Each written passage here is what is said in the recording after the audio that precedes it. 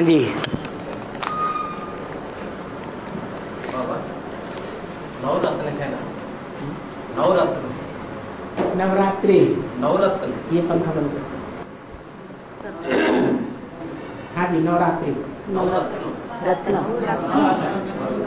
नवरत्न हाँ। उनमें चार जोड़ी है ना एक बाप। जोड़ी माने जोड़ी माने युगल जैसे। जैसे इस्लामियों के साथ कौन है? इस्लामियों के साथ कौन सा धर्म है? है? अरे, मुस्लिम धर्म। बौद्धियों में कितनी जोड़ी है? मुख्य। हीनयान, महायान। ऐसे ही क्रिश्चियंस के दो छाड़े हो गए। अमेरिका और रूस। एक मेरी को मानते हैं एक नहीं मानते। तो हर एक के दो छेड़े हो जाते। हाँ तो फिर? चार चार चार मुख्य धर्म है। जो चार मुख्य धर्म है उन चार की चार बीज रूप आत्माएँ लेकिन कोई कोई बीज ऐसे होते हैं जिसमें दो दल होते हैं। जैसे चना। मटर। इसमें बीज तो एक ही है लेकिन दल दो है। तो प्रवृत्ति मार्ग के बीज कहे जाएँगे। हाँ तो फिर? है? अरे इनकी बात पूरी होने दो। हाँ। तुमको क्या पूछना है? चार रुद्रों है?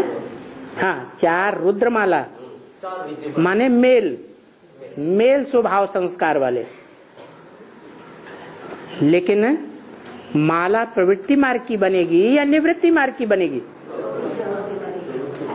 तो उसके चार जो मेल मुख्य हैं, उनके युगल भी चाहिए। वो समान होंगे या असमान होंगे पुरुषार्थ में? लगभग समान होंगे। तो चार और चार कितने हो गए? आठ हो गए। हाँ फिर? और बाप अलग है या उनके बीच में है? हैं? बोलो। ऐसे तो नौ धर्म हैं। कौन कौन सूर्यवंशी, चंद्रवंशी इस्लाम वंशी बौद्धि वंशी क्रिश्चियन वंशी उसके बाद सन्यासी, मुस्लिम और सिख। ये आठ हैं जो नास्तिक नहीं कहे जाएँगे। साकार को, भगवान को साकार रूप में मानने वाले हैं या नहीं मानने वाले? मानने वाले। बाकी जो आर्य समाज है, वो आधा आस्तिक है, आधा नास्तिक। भगवान को भगवान भगवान कहता तो है, लेकिन लेकिन साकार रूप में मानता नहीं। इसलिए वो लास्ट नंबर में है। नौवा कहा जाएगा। और? हाँ। एक भाई लोग पूछ है, जब शरीर छोड़ता है आत्मा तो मन बुद्धि संस्कार में साथ में क्या ले जाता है? तीनों के लेके जाता है या सिर्फ़ बुद्धि को ले जाता है? मन भी जाता है, संकल्प विकल्प करने वाला, क्योंकि गर्भ में रह करके भी आत्मा दुनिया में चक्कर लगाती रहती है मन से। जैसे स्वप्न में हम चक्कर लगाते हैं, ऐसे गर्भ में रहते हुए आत्मा भी दुनिया का चक्कर लगाती रहती है। जन्म लेने के बाद भी बच्चा कभी हंसता है, कभी रोता है, वो आपके हंसाने से हंसता रोता है या अपने आप ही वो रोता हंसता है? तो उसकी आत्मा चक्कर लगाती है। पूर्व जन्म का चक्कर लगाती रहती है। तो आत्मा मन से भी गर्भ के अंदर है। और बुद्धि तो उसका कंट्रोल करने वाली होती ही है। मन बुद्धि में ही अनेक जन्मों के संस्कार होते हैं। हाँ फिर?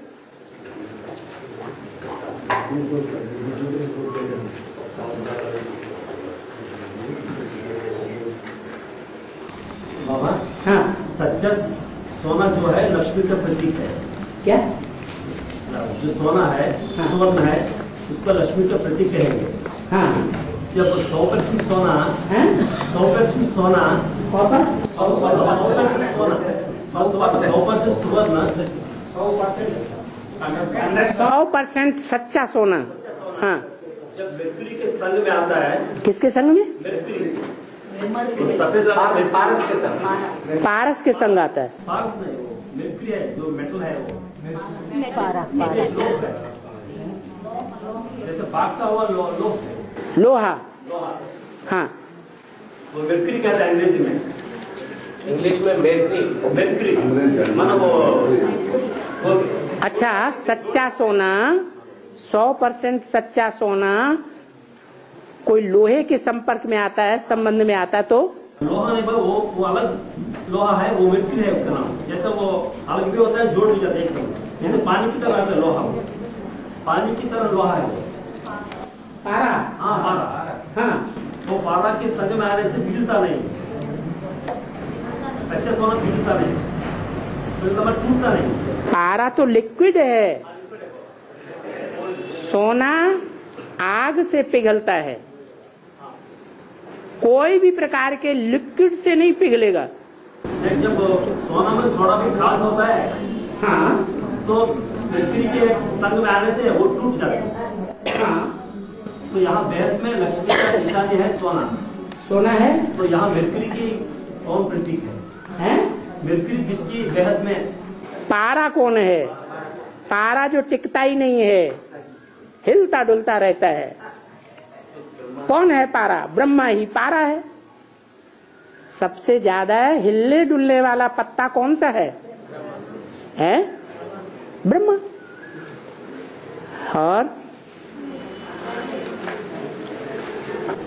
बाबा कन्याकुमारी की जो मिट्टी है जो लाल रंग का रहता है है? कन्याकुमारी की मिट्टी लाल रंग में रहता है। लाल? रंग का। लाल कलर। हाँ। और वो सोना और चांदी लोह को सुहाग लाने में ज़्यादा मदद करती है। हाँ, लाल मिट्टी। हाँ। जो रंग की और उसकी सुहाग लाने में कौन बेहद में कौन है वो कन्याकुमारी की मिट्टी? बेहद में वो कन्याकुमारी की मिट्टी कौन है? मिट्टी बने दे है ना? जो लाल रंग में दिखा है। हाँ कन्या कौन सी है वो? कन्याकुमारी और अधर कुमारी बाबा ने बोला कि नहीं? अधर कुमारी कौन है? और कन्याकुमारी कौन है? जगदम्बा है अधर कुमारी। अधर कुमारियों में सबसे बड़ी, सबसे बड़ा पार्ट बजाने वाली। और कन्याकुमारी? कौन है? लक्ष्मी? हाँ उसकी देह अभिमानी की मिट्टी। प्योर लाल है। हाँ। सोना और चांदी में से सुहाग है। हाँ? है से ठीक है। और? हाँ।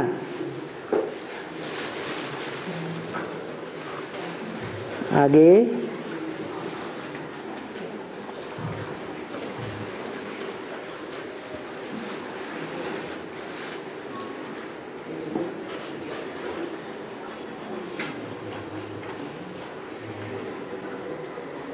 बाबा शेर सागर मत में क्षीर सागर शास्त्र में लिखा है। हाँ क्षीर क्षीर सागर क्षीर मना खीर खंड जहाँ है जहाँ सब प्यार से रहते हैं जिसके संरक्षण में वो ही। क्षीर सागर है ज्ञान सागर जिसे कहो। हाँ तो? क्षीर सागर मंथन है सागर के मंथन करते हैं ना? हाँ। कछुआ का पाठ होते हैं ना? कछुआ कछुआ। कछुआ हाँ। और मंदरगिर पर्वत का पाठ मंदरागिरी चल हाँ पर्वत। पाठ ब्रह्मा बाबा हाँ, मंद पर मंद बुद्धि किसकी है? ऐसी बुद्धि जो बहुत मंद है। किसकी बुद्धि मंद है? वो ही मंदराचल पर्वत है। कौन है, है? कछुआ का पाठ जो कछुआ है। वो जब चाहे अपनी इंद्रियों को एक सेकंड में समेट सकता है। वो किसका पार्ट है? विष्णु का विष्णु ग्रुप विष्णु माने नारायण का पार्ट है। हाँ। और?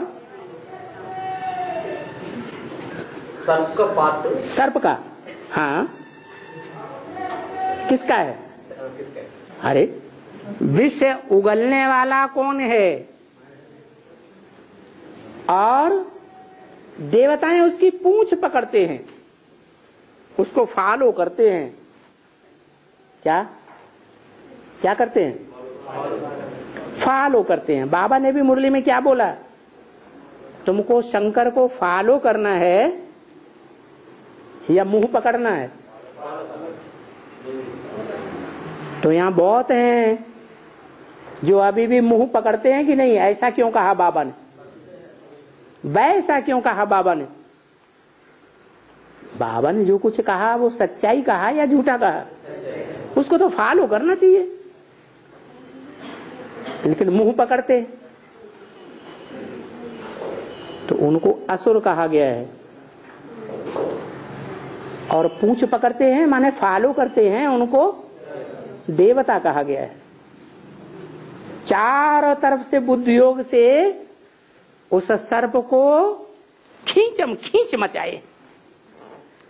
बुद्धि योग से खींचते हैं कि नहीं खींचते? हैं किसको? है? अभी सागर मंथन हो रहा है या नहीं हो रहा है? हो रहा है।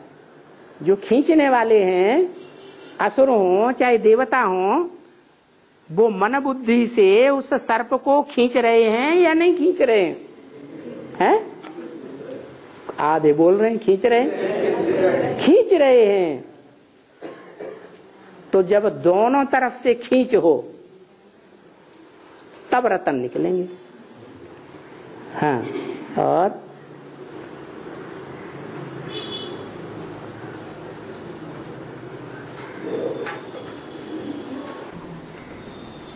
बाबा हम्म। भक्ति मार्ग में भस्म की ज़्यादा प्राधान्यता है भस्म हाँ। तो भस्म में भी वायु भस्मा जल भस्मा योगित भस्मा कई धातुओं की भस्म बताया। वसुदेव। सुबह का भी भस्म बताया। हाँ। हाँ जी। ये देवताएँ हैं अष्टदेव। ये वसु कहे जाते हैं। वसु माने बड़ी धन संपत्ति है ये। उसकी औलाद है वासुकी। ब्रह्मा की औलाद? ब्राह्मण। विष्णु की औलाद? वैष्णव। शिव की औलाद? शैव। ऐसे ही वसु की औलाद? वासुकी। ये वासुकी कौन है? सात फण वाला। है? जो विष्णु की रक्षा करता है। है?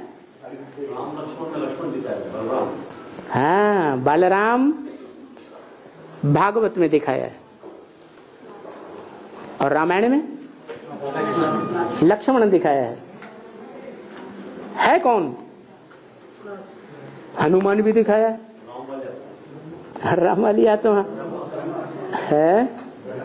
हाँ राम वाली आत्मा जिसके अंडर में सात फण वाला सर्प पल रहा है। ब्रह्मा फ़र्स्ट नारायण बनेगा। उसके नीचे कितने नारायण होते हैं?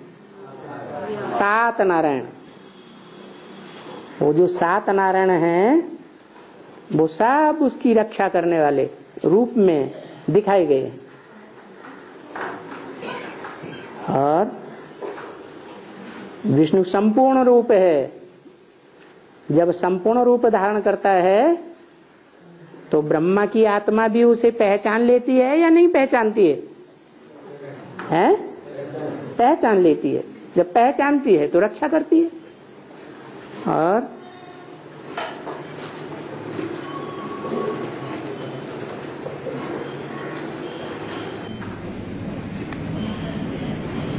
आज की मुरली में आया शिवरात्रि हाँ। शिवरात्रि के आने के बाद फिर उसी की शुरुआत गई महाशिवरात्रि। घोर अज्ञान अंधकार की शिवरात्रि। अभी तक दुनिया में इतना बड़ा घोर अज्ञान अंधकार नहीं फैला है। सन छत्तीस में भी नहीं फैला था। सन छिहत्तर में भी नहीं फैला था। अभी एक ऐसा टाइम आने वाला है जो सारी दुनिया की सभी मनुष्य आत्माएँ घोर अज्ञान की अंधकार की रात्रि में डूब जाएँगी। सबको अज्ञान आ जाएगा। बाप भूल जाएगा। असली ज्ञान क्या है? बाप की पहचान। और बाप को ही भूल जाए? तो अज्ञानी हो गए। तो चाहे दुनिया वाले हों, चाहे बेसिक ब्राह्मण हो, चाहे एडवांस के ब्राह्मण हो, अभी की स्थिति देखने से क्या पता चलता है कि एडवांस में आने वाले भी भूलते जा रहे हैं या सदाकाल पकड़ते जा रहे हैं हैं? आज पहचान लेते हैं, निश्चय बुद्धि बनते हैं, स्टाम्प पेपर पर लिख करके एफिडेविट भरते हैं, और कल विरोधी हो जाते हैं आपस में एक दूसरे से परमात्मा पार्टी की विरोधी बातें सुनते हैं और एक दूसरे को सुनाते भी। तो अनिश्चय बुद्धि कहें या निश्चय बुद्धि कहें? हैं? अनिश्चय बुद्धि हुए। ऐसे बढ़ते बढ़ते जब बाप प्रत्यक्ष होगा, अभी बाप गुप्त है या प्रत्यक्ष है? अभी तो गुप्त है। जब बाप प्रत्यक्ष होगा उस घड़ी से एक सेकंड पहले का जो समय है वो पूरा ज्ञान अंधकार का समय होगा सारी सृष्टि पर।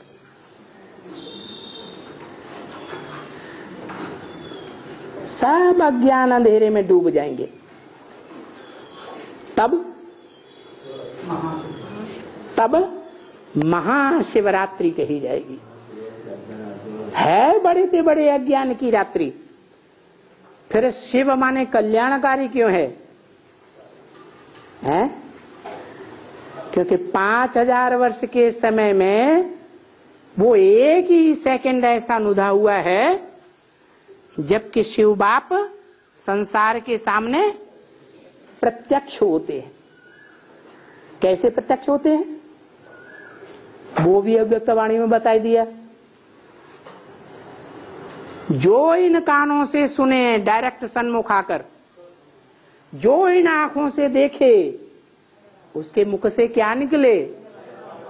मेरा बाप आ गया। अभी ऐसा है? अभी तो ऐसा नहीं।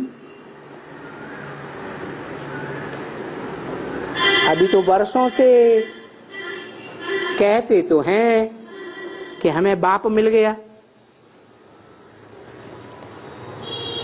जिसको बाप मिल जाएगा, उसके लिए तो पाना था सो पा लिया। फिर कुछ अब पाने के लिए रह जाएगा? है? नहीं रह जाएगा। कुछ पूछने करने के लिए रह जाएगा? है? रह जाएगा? नहीं रह जाएगा। फिर तो जो पाना था सो पा लिया। लेकिन अभी ऐसी स्टेज नहीं है। वो स्टेज भी नंबर बार आनी है। लेकिन कब आनी है? जब इस दुनिया में वो सेकंड भी, वो घड़ी भी आएगी, ये सब अज्ञान अंधकार में डूब जाएँगे। मधुबन वालों को मधुबन छोड़ना पड़ेगा। गीता पाठशाला वालों को गीता पाठशाला छोड़ के घर में बैठ जाना पड़ेगा। इतना संसार में विरोध होगा। भक्ति मार्गी रावण राज्य का इतना विकराल रूप धारण करेगा कि साफ़ ठंडे हो जाएँगे। सदा के लिए ठंडे हो जाएँगे कि नंबरवार अल्प अल्प अल्प काल के लिए ठंडे हो जाएँगे। नंबरवार ठंडे हो जाएँगे। और? बाबा वो घड़ी तो दौर्भाग्य के लिए है शिवरात्रि की घड़ी। हैं? वास्तव में बाप को भूलना अच्छी बात नहीं है। शिवरात्रि बाप को? भूलना हाँ। अच्छी बात नहीं है। अच्छा और बाप के सामने बैठ करके बहुत बोल बोल करना ये अच्छी बात है। उस घड़ी को महत्व क्यों दिया गया है? इसलिए महत्व दिया गया है कि पाँच हज़ार वर्ष के सारे कल्प में वो एक ही घड़ी एक ही बार आती है। जब बाप संसार के सामने प्रत्यक्ष हो जाता है। सन छत्तीस में नहीं प्रत्यक्ष हो गया। सन में भी प्रत्यक्ष नहीं हो गया। सारे संसार के सामने प्रत्यक्ष हुआ? नहीं कहेंगे। लेकिन वो घड़ी जब सारे संसार के सामने बाप प्रत्यक्ष होगा, इस दुनिया का बड़े से बड़ा नास्तिक रशिया का रशियन से ही क्यों न हो? उसके मुख से भी अनायास निकलेगा। क्या? कि बाप आ गया, भगवान आ गया। जो अभी नास्तिक हैं, भगवान को मानते ही नहीं। समझते हैं, हमने एटम बम बनाया है, जो सारी दुनिया को नष्ट कर सकता है। हम इतने ताकतवर भगवान हमारे सामने कोई चीज़ नहीं। उनके मुख से भी निकलेगा। वो भी भयभीत हो जाएँगे, डर जाएँगे और बरबस मानने के लिए तैयार हो जाएँगे कि भगवान कोई चीज़ है, भगवान भी सृष्टि पर है। और बाबा, उस घड़ी के बाद आठ, एक सौ आठ, सोलह हज़ार, फिर नीचे बुद्धि बांधने में कितने समय लगेगा? बता तो दिया। तुम बच्चों को। इन बच्चों को नहीं। किनको? तुम बच्चों को। तमो प्रधान से सतो प्रधान बनने में 40 से 50 वर्ष लगते हैं। तो कितना टाइम हुआ? है? 40 वर्ष से 50 वर्ष तक लगते हैं। कोई को 40 वर्ष लगेंगे, कोई को इकतालीस, कोई को बयालीस, तैतालीस, चवालीस, पैंतालीस, छियालीस, सैतालीस, अड़तालीस, कोई को उनचास, पूरा करने में लगेगा। कोई को पचास वर्ष भी पूरा होगा, तब सतो प्रधान बनेगा। तो 40 से 50 तक कितने वर्ष हुए? हैं? दस वर्ष हुए। इन दस वर्षों में तुम बच्चे, कौन से तुम बच्चे? मेरे बच्चे। मेरे बच्चे राजा बच्चे हैं या प्रजा बच्चे हैं? जो राजा बच्चे बनने वाले हैं, राजयोग सीखने वाले बच्चे हैं, उनके लिए बोला कि दस साल के अंदर तुम मेरे राजा बच्चे राज परिवार के अंदर रहने वाले सोलह हज़ार एक सौ आठ प्रिंस प्रिंसेस बनने वाले तमो प्रधान से सतो प्रधान बन जाएँगे। और? शिवरात्रि के गणेश जब भाव प्रत्यक्ष होता है उस गणित दुनिया की जनसंख्या 525 करोड़ होगी एकदम हो जाएगा। नंबरवार हैं या सब एक नंबर हैं। तो नंबरवार ही पहचानेंगे? ये एकदम पहचान लेंगे। है? सभी लोग हम्म। पाँच सौ करोड़ सात सौ करोड़ जो भी मनुष्य आत्माएँ हैं जब तक सब साकार बाप को पहचान न लें शिव बाबा को तब तक इस सृष्टि का विनाश नहीं हो सकता। अगर पहचानेंगी ही नहीं, याद ही नहीं करेंगी तो पति से पावन बन जाएँगी, हैं? और पावन नहीं बनेंगी तो परम नाम चली जाएँगी, नहीं जाएँगी। और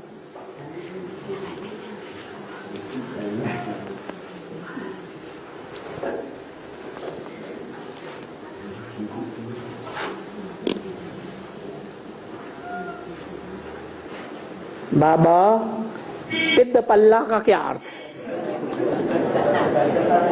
अरे पिद पल्ला हो चाहे चिन्ह पल्ला हो। है तो पल्ला ही पल्ला।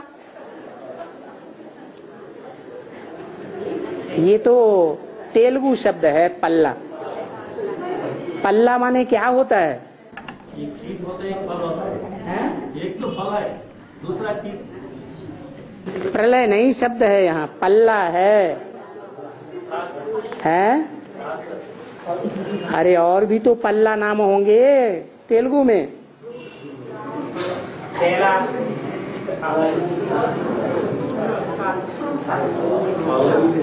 हैं? वैसे हिंदी में पल्ला बाज़ार को भी कहते हैं। हाँ। पेद्द पल्ला माने बड़ा बाज़ार छोटा बाज़ार नहीं बड़ा बाज़ार लगा हुआ है। तो ज्ञान रत्नों के बड़े बड़े व्यापारी यहाँ होने चाहिए कि नहीं है बड़े बाज़ार में छोटे बड़े सब व्यापारी होने चाहिए कि नहीं होने चाहिए हैं तभी तो कहा जाएगा पेद्द पल्ला।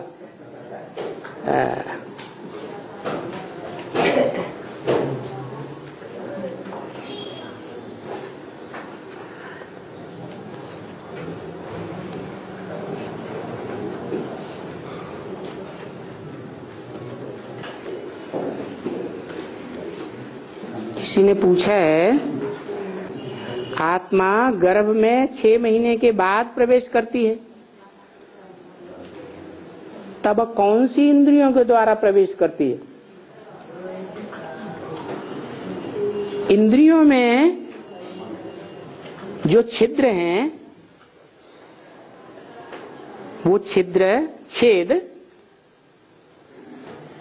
अति सूक्ष्म है कि बड़े बड़े हैं? हैं? अति सूक्ष्म। और सारे शरीर में वो छिद्र बहुत सूक्ष्म है। है या नहीं? जिन्हें रोंगटे कहा जाता है। तो आत्मा तो कोई भी क्षेत्र से प्रवेश कर सकती है। कोई ज़रूरी नहीं है कि दस इंद्रियों में ही प्रवेश करे दस में से कोई से कोई के द्वारा प्रवेश करे। हाँ ये हो सकता है। कि दस इंद्रियों में पाँच इंद्रियाँ तो श्रेष्ठ आचरण करने वाली है।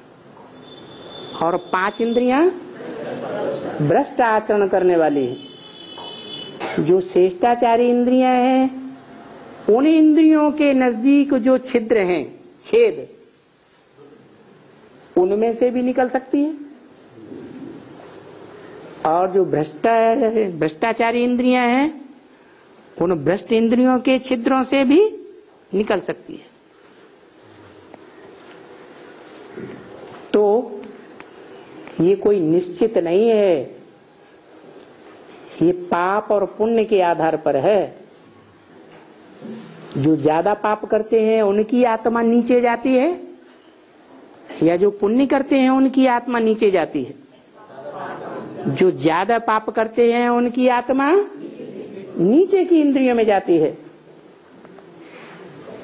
जो पुण्य के कार्य करते हैं, उनकी आत्मा ऊँची चढ़ती है। उसी अनुसार उस आत्मा का प्रवेश होता है। और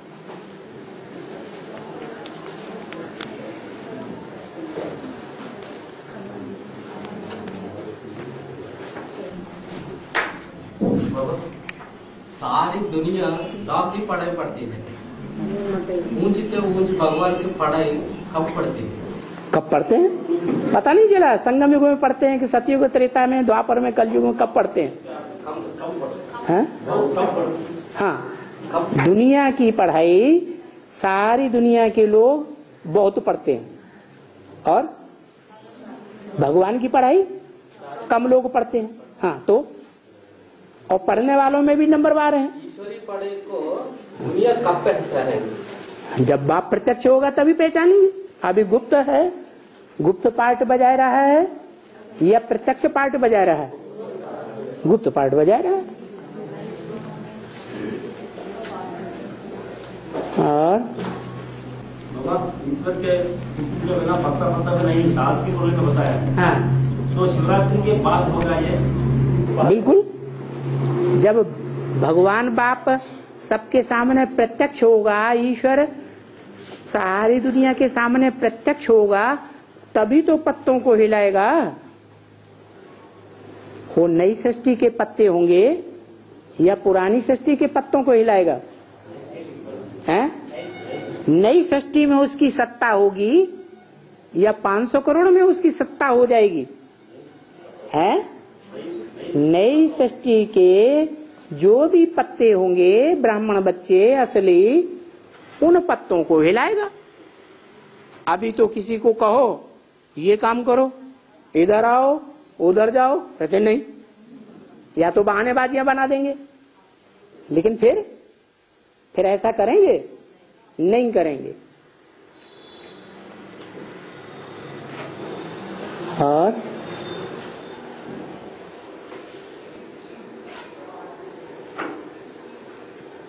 बाबा ने मुरली में कहा है, सच्ची गीता को झूठा बनने में पाँच हज़ार वर्ष लगते हैं। सच्चा बनने में एक सेकंड लगता है। तो बाबा कुछ भी चीज़ बिगड़ने में ज़्यादा समय नहीं लगता है। जैसे मकान बिगड़ने में ज़्यादा समय लगता है या बनने में ज़्यादा समय लगता है? अच्छा। जो मकान बना है उसकी म्याद होती है या नहीं होती है? म्याद माने उसकी लेंथ होती है समय की।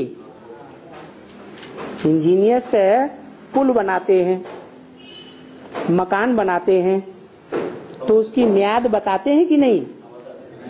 कि इतने साल तक ये मकान चलेगा। हाँ। तो जितने साल तक चलेगा उतने साल में पुराना होगा या बनते ही पुराना हो जाता है? बनते नहीं होते बहुत साल बाद तो लंबे समय तक चलता है। तो उसको कहेंगे कि उसके बिगड़ने में लंबा टाइम लगा। षष्ठी भी। पहले सतो प्रधान फिर सतो सामान्य फिर रजो फिर तमो। कितने हज़ार साल लगते हैं?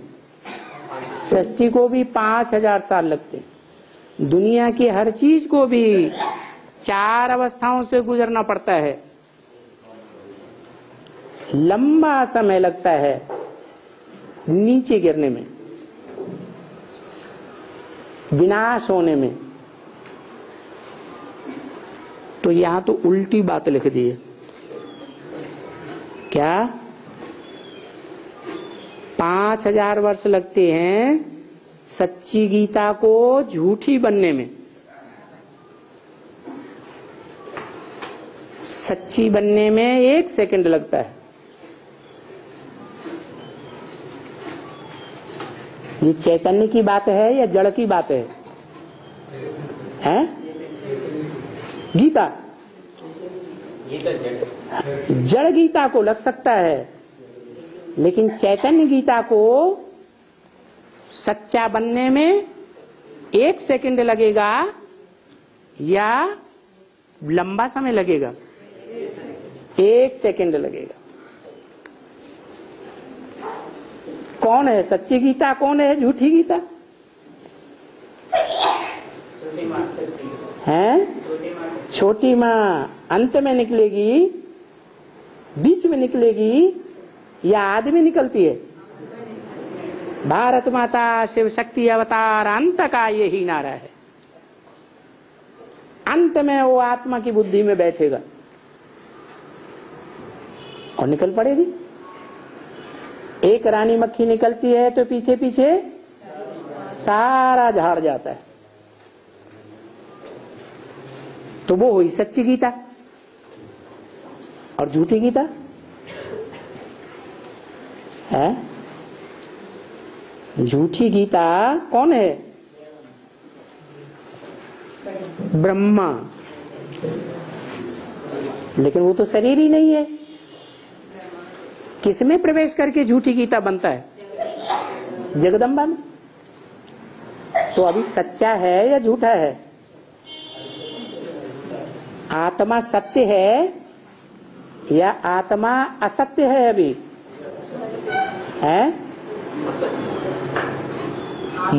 मोह विकार से ग्रसित है या नहीं है?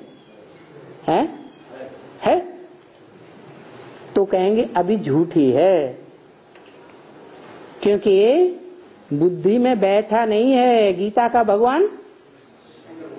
है? कौन है साकार में? और जब दादा लेखराज ब्रह्मा ज्ञान चंद्रमा की बुद्धि में ही नहीं बैठा। जो जगदम्बा में प्रवेश करने वाला है, महाकाली के मस्तक में दिखाया जाता है, उसी की बुद्धि में नहीं बैठा तो जगदम्बा की बुद्धि में बैठेगा? नहीं बैठेगा। तो वो सेकंड अभी भी नहीं आया है। वो गीता झूठी है या सच्ची है?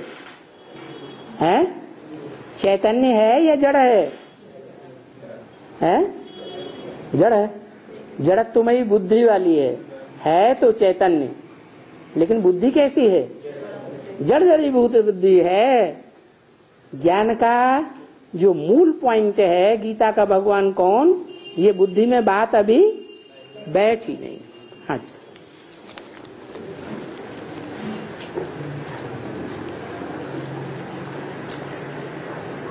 युधिष्ठिर कुंती को श्राप देता है, कोई भी नारी अपने पेट में कुछ भी भेद नहीं छुपा सकती। महाभारत में क्या आया है? कुंती ने क्या छुपाया? पांडवों से। कर्ण का जन्म की बात छुपा ली। तो कोई भी नारी अपने पेट में कुछ भी भेद नहीं छुपा सकती। तो यहाँ बेहद में कुंती अर्थात छोटी माँ, कुंती है और पांडु बाबा है। तो बाबा, ऐसी कौन सी बात छोटी माँ छुपाती है? पांडु और उसके बच्चे पांडवों से, जिस कारण युधिष्ठिर। ब्रह्मा बाबा। कुंती को साप देता है।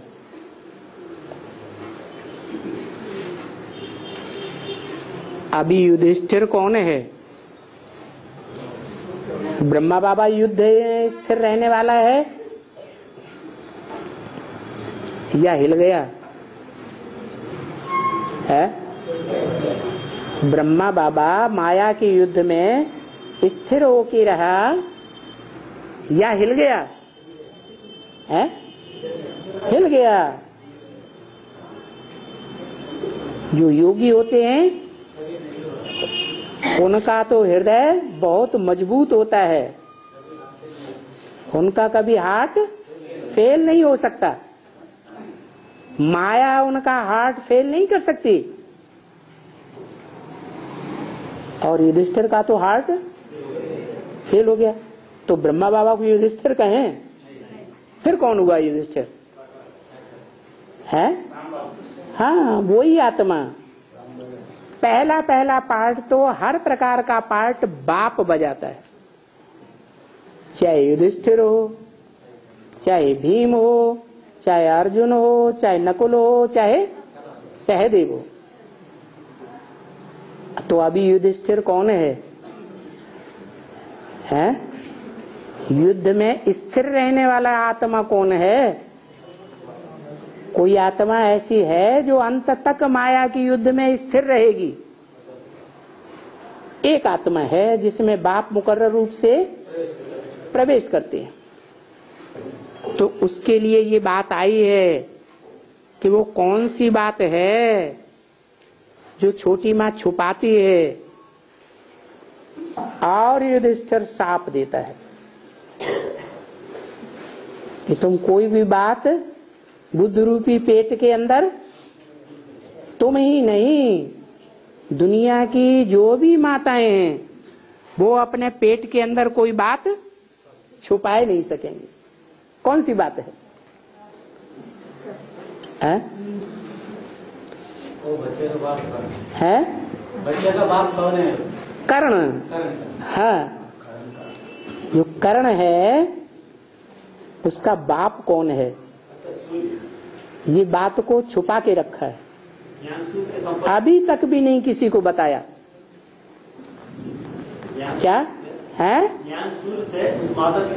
हाँ यज्ञ के आदि में भी। कृष्ण वाली आत्मा को तुम कृष्ण का पार्ट हो, ये पहचान किसने दी थी? है? बाप डायरेक्ट पहचान जन्म देता है। छोटी माँ ने जन्म दिया था, पहचान दी थी। और वो पहचान की बात अभी छुपा के रखी हुई है। या ब्रह्मा कुमार कुमारियों को, या प्रजापिता ब्रह्मा कुमार कुमारियों को वो आत्मा बताए रही है। हैं? अभी भी छुपा के रखी है जन्म है हैं? छोटी माँ को? हाँ। है वो तो पहला जन्म है। और अभी? वो याद नहीं है। चलो याद नहीं है और अभी? अभी तो याद है। अभी याद है या नहीं है? है? अभी भी नहीं याद है। अभी का जन्म तो याद है।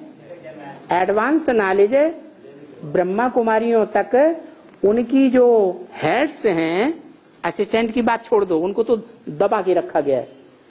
जो भी हेड्स है इंचार्ज ब्रह्मा कुमारियाँ हैं मोस्टली उनको एडवांस ज्ञान की बातें मालूम है या नहीं मालूम है? मालूम होते हुए भी वो छुपा के रखी है या बी केस और पीबी केस को बताए रही है। छुपा के रखो। है। और? हाँ। माँ है? वो बात पहले की बात, अभी की बात है। अभी की बात, अभी जो पांडव हैं और जो पांडु है, उन बच्चों को बताए रही है। अभी, कुंती। हम्म। पहले अगर बताया होता तो यज्ञ के आदि में ब्रह्मा बाबा विश्वविद्यालय का नाम क्या रखते? प्रजापिता ब्रह्मा कुमारी ईश्वरी विश्वविद्यालय रखते। लेकिन क्या नाम रखा? ब्रह्मा कुमारी ईश्वरी विश्वविद्यालय नाम रख दिया। तो क्या बताया? असली बात बताई? पिछले जन्म में भी नहीं बताई। अभी भी नहीं बता रही। अंदर से जानती है। है? क्यों नहीं बताया? बाबा तो शेर का पार्ट दमदार होता है या बकरी का पार्ट दमदार होता है? और विष्णु का पार्ट शेर का है या बकरी का है, है? बकरी का है। बकरी का जो भी कान पकड़ ले वो उसके अंडर में चलती है या नहीं चलती है? तो अभी उसका कान किसने पकड़ा हुआ है? हैं? किसने पकड़ा हुआ है? हैं? दीदी, दादी दादा है ब्रह्मा बाबा ने पकड़ा हुआ है। और? बाबा पाँच पांडव है ना? ये पाँच पांडवों में तीव्र पुरुषार्थी पांडव कौन है? है? तीव्र पुरुषार्थी किसे कहेंगे? जो माया के हिलाने से हिल जाए, वो तीव्र पुरुषार्थी या माया कितना भी हिलाए, बड़ा पुरुषार्थी समझ के। माया बड़ों बड़ों को पहले हिलाती है या छोटों से टकराती है? तो उनको हिलाए और वो हिल जाए तो तीव्र पुरुषार्थी कहे जाएँगे? नहीं? तो कौन हुआ तीव्र पुरुषार्थी? है? अरे धर्म के ऊपर आरूढ़ रहने वाला कौन हुआ? धर्मराज युधिष्ठिर हुआ। और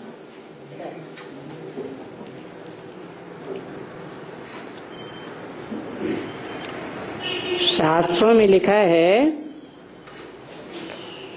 कि रावण ने शिव शंकर से शिव शंकर रावण ने शिव शंकर से आत्मलिंग माना। मांगा। क्या मांगा? आत्मलिंग मांगा। कैसा लिंग? जो आत्मिक रूप में स्थिर रहने वाला है, वो मांगा। इसका अर्थ क्या है? है? आत्मलिंग कौन हुआ? और परमात्म लिंग कौन हुआ? है? अरे जो सदैव आत्मिक स्थिति में स्थित रहता है, वो आत्मलिंग। और? जो कभी रहता है और कभी नहीं रहता है, वो तो सभी आत्माएँ हैं। उन सभी आत्माओं के बीच में हीरो पार्टदारी भी सदा आत्मिक स्थिति में रहता है, पाँचों युगों में रहता है आत्मिक स्थिति में, या कभी रहता है, कभी नहीं रहता है? कभी रहता है, कभी नहीं रहता है। तो आत्मलिंग कौन हुआ? है? शिव बापू हुआ। अगर शिव शंकर जिसका नाम है, कंबाइंड स्वरूप है और उससे शिव आत्म उसको मांग लिया जाए। तो फिर उसके पास ताकत रहेगी? है? नहीं रहेगी। तो युक्ति निकाली। क्या युक्ति निकाली? है? हाँ। दे तो दिया। लो ले जाओ। है? हाँ लेकिन वो सदा काल उसके पास रहा नहीं। रास्ते में जाते ही जाते पुरुषार्थ के रास्ते में वो आत्मलिंग उसको छोड़ना पड़ा। छोड़ना पड़ा या नहीं छोड़ना पड़ा? छोड़ना पड़ा। और किसको सौंप दिया? है? हाँ ग्वाले को सौंप दिया। वो सदाकाल धारण कर सकता है? वो भी नहीं धारण कर सकता। तो वो उसने भी उसने भी छोड़ दिया। तो रावण के हाथ आया या नहीं आया? है? आया तो लेकिन छोड़ना पड़ा। रख नहीं सका। अब कौन है वो रावण? है? और कब मांगा आत्मलिंग? है? अच्छा। बाबा पूछते हैं मुरली में। अक्सर करके मुरलियों में पूछा जाता है, रावण कौन? तो जवाब क्या दिया मुरली में है? ज़रूर कहेंगे ये गुरु लोग। ये जो देहधारी गुरु हैं, वो ही रावण अच्छा। दुनिया के बड़े से बड़े देहधारी गुरुओं के नाम गिनाओ। कौन कौन है? हैं? बड़े बड़े धर्मगुरु कौन कौन है? देहधारी धर्मगुरु। हैं? अरे नाम नहीं मालूम है। सबसे बड़े तो धर्म पिताएँ हैं। कौन कौन है? हाँ। हाँ। क्राइस्ट हाँ। इब्राहिम, गुरु नानक, महर्षि दयानंद है। सात आठ तो यही है इस दुनिया के, द्वापर कलयुग में। और सतयुग में कोई है या नहीं है? है? हैं है वो ही तो वहाँ जाकर के उनमें धर्म पिता ही प्रवेश करते हैं। हाँ और सात नारायण के ऊपर? सात नारायण के ऊपर ब्रह्मा, अर्थात कृष्ण की सोल। वो देहधारी धर्मगुरुओं में से संगम युग में है या नहीं है? वो भी है। तो दुनिया का बड़े से बड़ा धर्मगुरु कौन हुआ? है? ब्रह्मा बाबा। तो आत्मलिंग माना क्या हुआ? उसको आत्मलिंग मिला कि नहीं यज्ञ के आदि में? कैसे? हैं? हाँ यज्ञ के आदि में तो शिव प्रजापिता में आता था, या ब्रह्मा में आता था? प्रजापिता में आता था। लेकिन बाद में क्या हुआ? है? ओ प्रजापिता की तो लाश भी गुम कर दी। तो शिव बाप किसमें आने लगे? ब्रह्मा में आने लगे। फिर उसको धारण कर पाया? है? नहीं धारण कर पाया। धारण नहीं कर पाया, बीच में ही, बीच में ही छोड़ के चला गया। तो शास्त्रों में कथा कहानियाँ बनाई दी। और?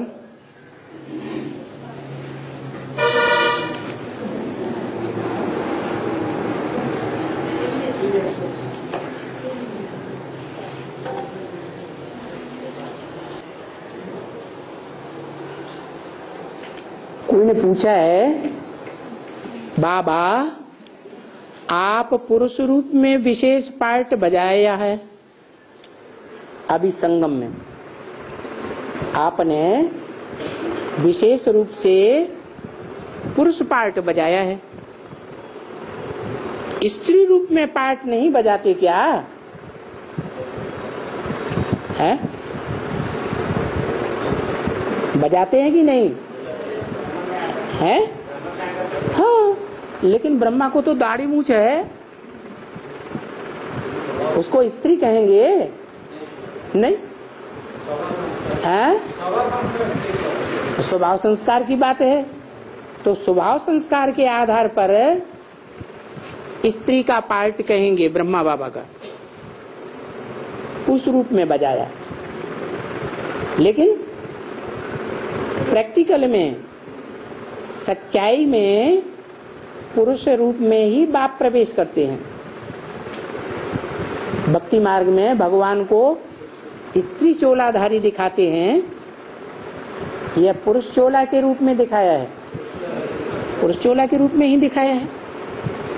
तो पूछा है स्त्री रूप में आप पार्ट नहीं बजाते क्या? अगर बजाएँगे तो क्या क्या पार्ट बजाते हैं? अगर बजाते हैं तो कोई एक पार्ट का तो नाम बताएँ। बताना चाहिए कि नहीं?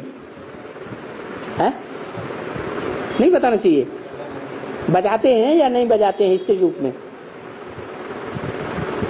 स्त्री रूप में शिव बाप पार्ट बजाते हैं या नहीं बजाते हैं? कैसे? अरे अरे बोल तो दिया। बच्चों में जो सेवाधारी बच्चे हैं, हिम्मते बच्चे, मदद बाप, उन बच्चों में बाप मदद करने के लिए कभी दृष्टि से, कभी वाचा से कोई तीखा पुरुषार्थी होता है तो उसको समझाते हैं, दृष्टि योग देते हैं। और उस बच्चे को ज्ञान में खींच लेते हैं। तो क्या पुरुष चोले में ही प्रवेश करके सेवा करते हैं? स्त्री चोलों में प्रवेश करके सोलह सेवा नहीं करते? है? करते हैं या नहीं करते? हैं करते। तो बताओ, उनमें कोई एक पार्टधारी का तो नाम बताओ, जो स्त्री चोलों के रूप में पार्ट बजाने वाला हो। है? जगदम्बा। जगदम्बा में ब्रह्मा पार्ट बजाता है, चंद्रमा पार्ट बजाता है। जगदम्बा महाकाली के रूप में चंद्रमा दिखाया है या शिव दिखाया है, है? और शिव पार्ट बजाएगा प्रवेश करके तो सूर्यवंशी बच्चों को निकालेगा या दूसरे वंश के बच्चों को निकालेगा? है? और जगदम्बा से कैसे बच्चे निकलते हैं? है? जगदम्बा से जगत के सब धर्मों के बच्चे निकलते हैं। कि सूर्यवंशी बच्चे निकलते हैं। सब धर्मों के निकलते हैं। तो ये तो नहीं कहेंगे कि जगदम्बा में प्रवेश करके पाठ बजाया। उनकी तो ज्ञान सूर्य ने अपने दृष्टि से हैं? उनकी तो ज्ञान सूर्य ने अपने दृष्टि से कर्म को जन्म दिया। किसने? उनकी को। कुंती उनकी कुंती कुंती को। उनकी को ज्ञान सूर्य ने अपनी दृष्टि से कर्म की जन्म दिया। हाँ, वो तो कुंती को दिया ना। कुंती को सूर्यवंशी कहेंगे, चंद्रवंशी या इस्लाम वंशी कहेंगे, क्या कहेंगे? है? क्या कहेंगे? अरे, कुंती को कौन सा वंशी कहेंगे? वो तो सूर्यवंशी है। उसकी तो बात छोड़ दो। हाँ। ऐसा स्त्री चोले का पार्ट कौन सा है? जिसमें शिव का प्रवेश होना मुकर्र हो जाता है, कि ज़रूर प्रवेश करके पार्ट बजाता है। तब ही ऐसा ऊँचा पार्ट बन सकता है। है? कौन? है, छोटी माँ। हाँ तीन मूर्तियाँ हैं शिव की। शिव की कितनी मूर्तियाँ? तीन मूर्तियाँ। और चित्र में तीनों मूर्तियों में रेखा दिखाई गई है कि नहीं? है? तीनों मूर्तियों में रेखा दिखाई गई है। ब्रह्मा की मूर्ति में भी रेखा दिखाई गई। प्रवेश होता है। शंकर की मूर्ति में भी रेखा दिखाई गई। प्रवेश होता है। और फिर तीसरी मूर्ति कौन है? जिसके प्रत्यक्ष होने से सारे संसार में रोशनी रोशनी हो जाती है। ज्ञान सूर्य बाद में प्रत्यक्ष होता है। सूर्य प्रत्यक्ष होने से पहले कौन प्रत्यक्ष होता है? है? कौन? हाँ लाल लाल ऊषा। वो ऊषा काल में जो सूर्य प्रत्यक्ष होने से पहले लाल लाल ऊषा प्रत्यक्ष होती है, अंधकार रूपी महाकाली का पीछा करते हुए। वो पहले प्रत्यक्ष होती है। तो वो तीसरी मूर्ति में शिव कार्य करता है प्रैक्टिकल में या नहीं? वाचा के रूप में ब्रह्मा में कार्य करता है। करता है या नहीं? और मनन चिंतन मंथन के संकल्पों के रूप में शंकर में प्रवेश करता है तीसरे नेत्र के रूप में। कोई मनन चिंतन बहुत अच्छा करे और वाचा भी बड़ी अच्छी चलाए तो स्वर्ग आ जाएगा। है? नहीं आ सकता। स्वर्ग तभी आएगा जब वाचा के साथ साथ प्रैक्टिकल में, कर्मेंद्रियों में भी ज्ञान समाया हुआ हो। अगर कर्मेंद्रियों में ज्ञान प्रैक्टिकल में समाया हुआ नहीं है तो दुनिया मानने के लिए तैयार होगी? नहीं होगी। इसलिए एक तीसरी मूर्ति है जो प्रैक्टिकल पार्ट बजाती वो पार्ट बजाने वाली आत्मा, चौरासी जन्म लेने वाली आत्मा है, या नहीं? चौरासी जन्म लेने वाली तो है। लेकिन चौरासी जन्मों में से उसने ऐसा पार्ट क्यों नहीं बजाया? ऐसा प्रैक्टिकल पार्ट चौरासी जन्मों में क्यों नहीं बजाया? ब्रह्मा की आत्मा ने ऐसी वेदवाणी बोलने का पार्ट चौरासी जन्म में क्यों नहीं बजाया? वाचा का पार्ट। है? राम वाली आत्मा ने पिछले चौरासी जन्मों में ऐसा मनन चिंतन मंथन करने का, ज्ञान वाचा चलाने का पार्ट पहले क्यों नहीं बजाया? ये पाठ किसने बजाया? है? शिव बाप ने बजाया। इसलिए शिव की तीन मूर्तियाँ हैं। चाहे वो वाचा का पार्ट बजाने वाली मूर्ति हो, चाहे वो, है?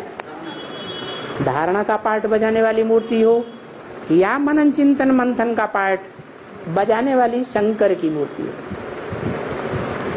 ओम शांति। बाय। बस